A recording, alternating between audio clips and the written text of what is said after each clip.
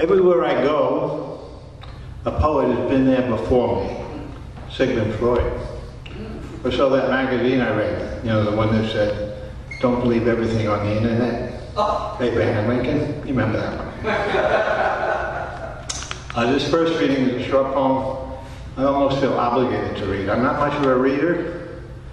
Um, I've been reading this man for almost 40 years, J. Krishnamurti. And uh, he's had a tremendous influence on my life. In order to ensure my claim to authenticity, I must acknowledge the influence of J. Krishnamurti. It's tricky, you see, because he constantly points out to me not to make him a guru or any sort of authority. But oh, how he has encouraged, enlightened, and influenced me, especially the joy of occasionally being psychologically free. So I'm not always certain what parts of my poetry are me and what parts of my poetry are J. Krishnamurti. Next one. This one's called Audience. Sure, I have some problems, maybe one or two. I'm sure I'm not alone, you probably have some too.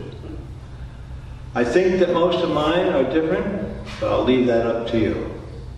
As I get old, I'm not so bold, but at my age I've learned a thing or two. You may think that this one problem doesn't make a lot of sense. Here's my real problem. No matter what I know, I have no audience. Wait, I just learned something new. I'm not really here to preach.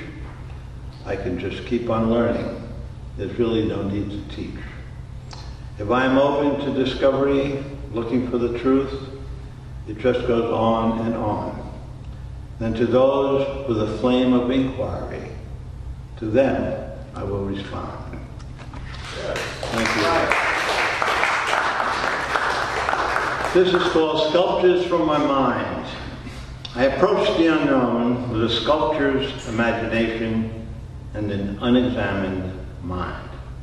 I surround myself with a marble void held together by attachment, dependency, and fear. From this void I chisel out and carve out the terrifying images of aloneness, nothingness, and emptiness. Unknowingly, I have created my prison. I am not only the inmate, I am the warden, the guard, the maintenance crew, the groundkeeper. Most of my time is spent trying to make my prison comfortable. I seek pleasure because I don't experience freedom. I only try to escape from the pain, not from prison. One cannot escape from prison if one doesn't know they are in prison. I took on an inner journey and discovered the falseness of my existence.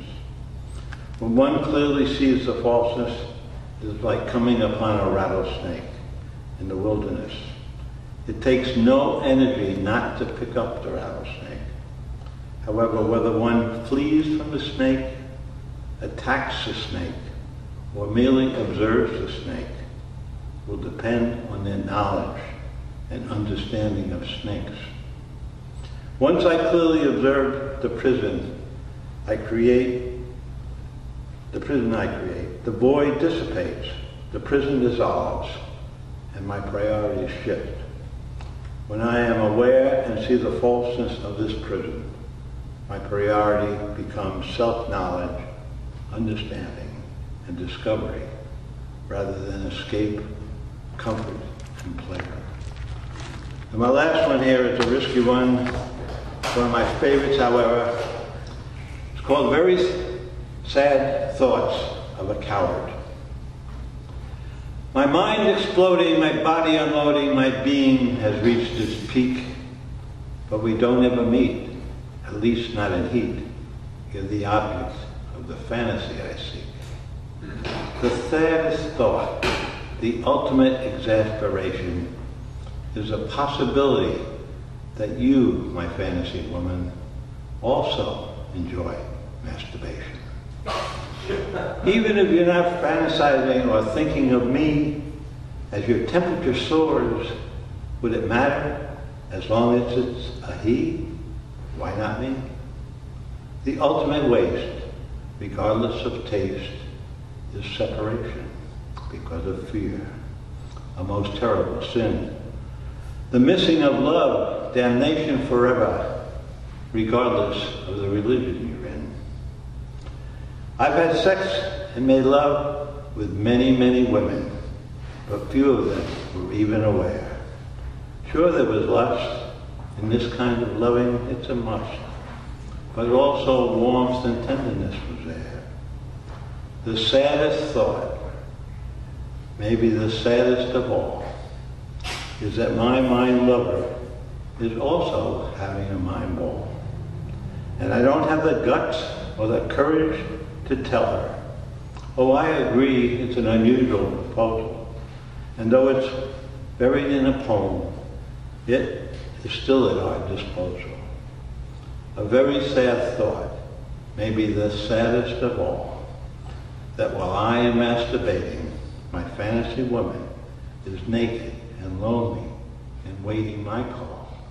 Thank you.